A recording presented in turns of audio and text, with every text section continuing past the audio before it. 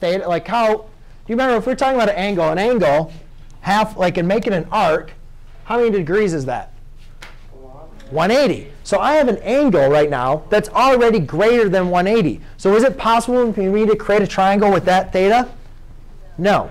However, there was another type of angle we talked about, which was called the reference angle. And if you remember the reference angle, we spent time creating reference angles because what was important about the reference angle was the reference angle was the acute positive angle between the x-axis and the terminal side.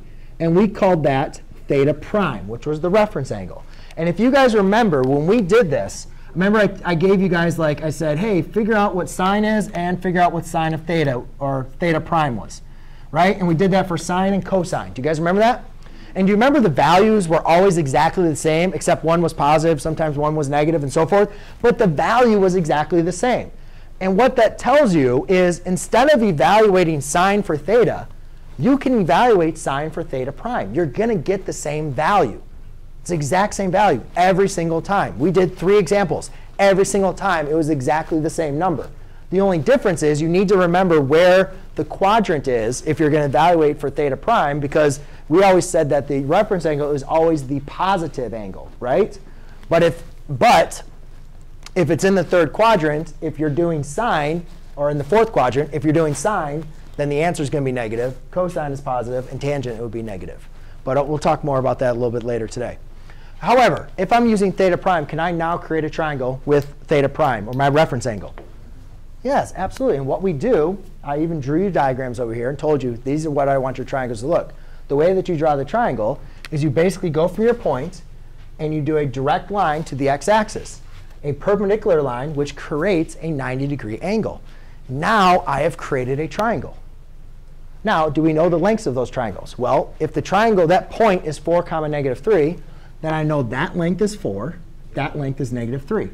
Do we now have enough information to figure out what the hypotenuse is? Yes, we do. Yeah, absolutely. We could do 4 squared plus negative 3 squared equals c squared or x squared or whatever. So we have 16 plus 9. Well, because remember sine, like sine of an angle is opposite over hypotenuse. So you got to know what the hypotenuse is. Because here is your hypotenuse. Yes? Do we have to actually draw the triangle, or could we just do the, the, the formula and figure it out? I would recommend drawing the triangle. All right. OK? Um, as far as your work, no, it doesn't really affect. It's not really the answer is the triangle. But the, to get the answer, it's helpful to look at the triangle. And I could probably say just because you don't do the triangle doesn't mean you're going to get it wrong. But I can almost guarantee if you get it wrong, you probably didn't draw a triangle. Um, so therefore, oh, this is a uh, this is a um, a Pythagorean triple. So that's 5. I already know that. So now I just need to do sine, cosine, and tangent. So sine of theta, instead of saying sine of theta, we, we can really just use theta prime, right? It's the same thing. You're going to get the same answer. So what is sine, sine of theta, which is the same thing as theta prime? Opposite over hypotenuse. Cosine of theta. Actually, here's your theta. Let's just remind ourselves. Here's your hypotenuse. Here's your adjacent side. Here's your opposite side. Does everybody see why those are my adjacent, my opposite, and my hypotenuse? We're good? So now sine is opposite over hypotenuse. Cosine of theta is adjacent over hypotenuse, 4 over 5. And tangent of theta is opposite over hypotenuse, negative 3 over 5. Opposite over adjacent, sorry. Now, it said to find all six trigonometric functions. So now we need to do the reciprocal functions,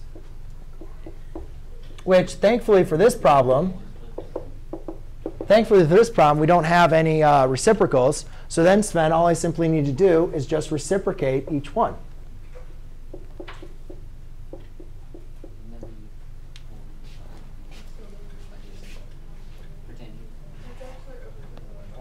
Yeah, sorry. Thank you. I said the wrong thing.